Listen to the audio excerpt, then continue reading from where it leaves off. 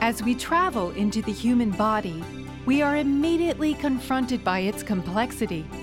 The body is home to an estimated 100 trillion cells. The amount of activity going on in just one cell is beyond anything we could possibly imagine.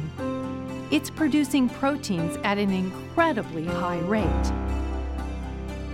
Simple sugars are needed to fuel this production, while amino acids are the building blocks needed to make these proteins.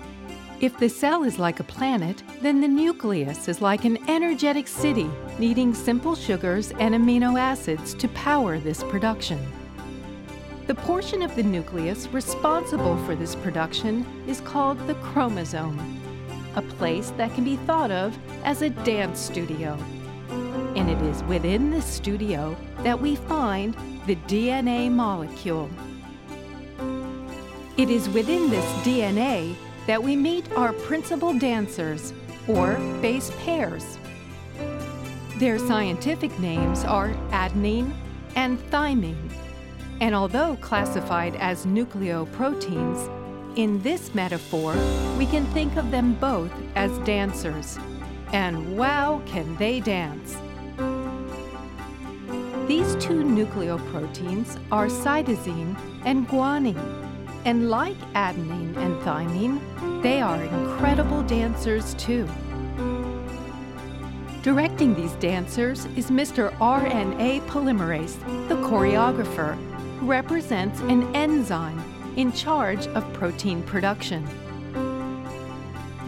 The phone call represents the body communicating its need for a new protein as Mr. Polymerase selects the dance instructors needed in this production, they release their hold on their former partners and turn around to face him.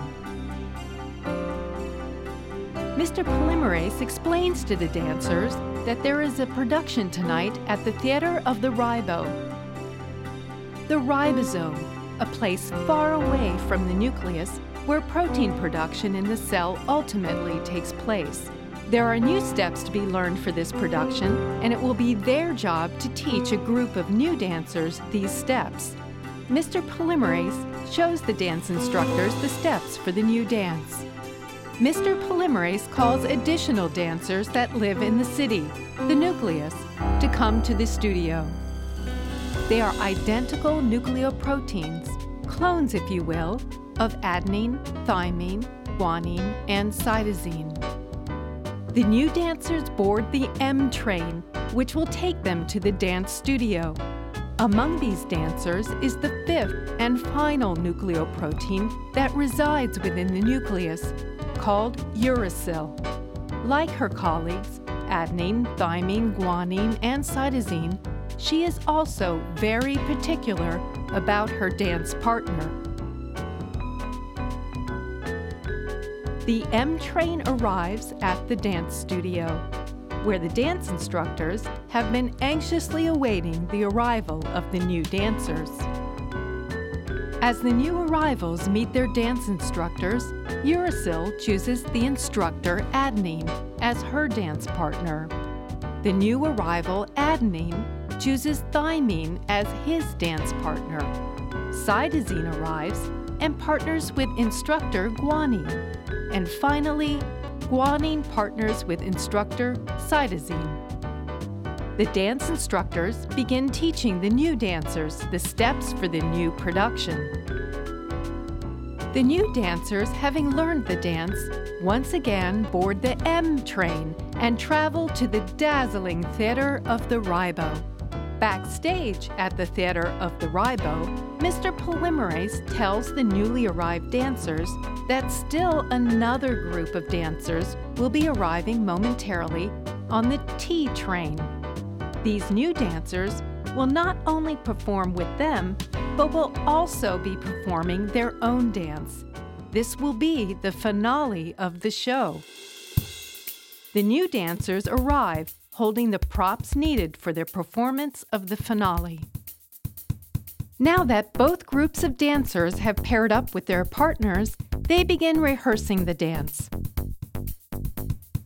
The new arrivals have learned the dance steps and are ready for the dance performance. It's showtime.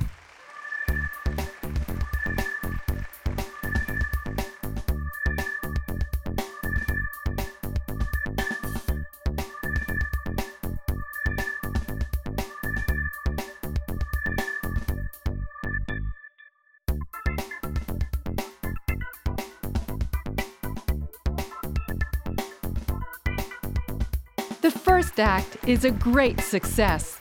Mr. Polymerase introduces the finale.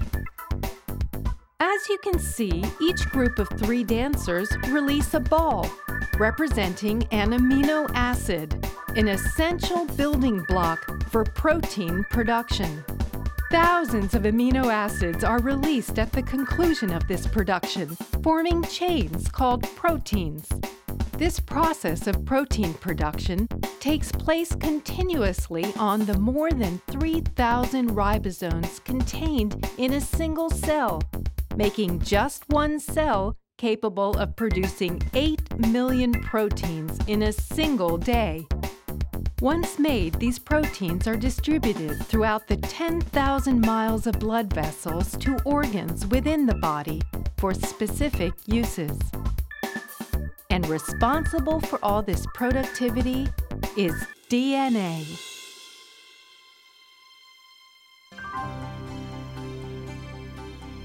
Let's recap in scientific terms what we have learned about DNA and protein production. Under the constant direction of RNA polymerase, certain DNA nucleoprotein partners, adenine and thymine, guanine and cytosine are commissioned to separate from one another. New nucleoprotein partners are directed to replace the former ones, creating a new nucleoprotein line called messenger RNA.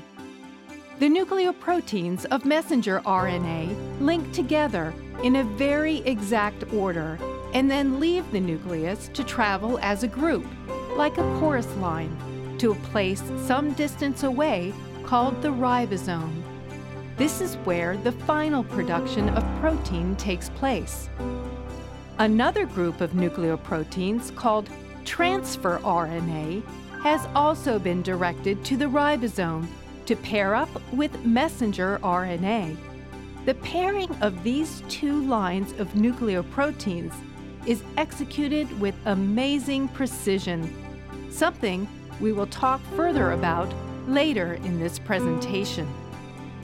Transfer RNA has the added task of transporting amino acids. When linked together, these amino acids form proteins, a fundamental building block of life. In the curriculum that follows, you will gain more detailed insight into one of the most intricate, remarkable, and amazing pieces of biological architecture imaginable. We will talk about the language and alphabet of DNA, its use in drug development and new products, its potential for gene therapy, as well as many more applications that will have a major impact in your lifetime.